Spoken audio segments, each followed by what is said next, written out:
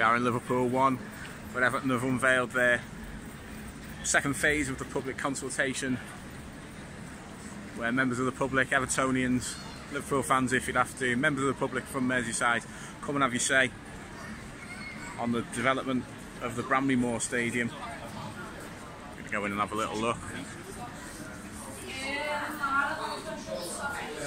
Anyway,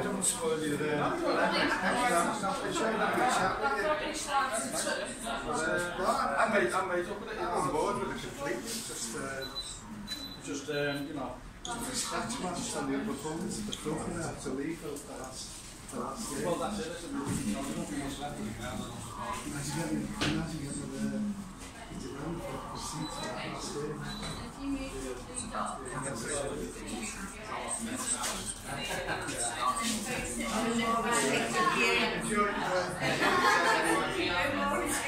So